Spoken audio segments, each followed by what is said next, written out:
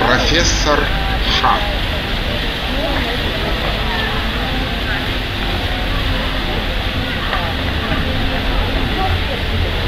Жест профессора троекратен.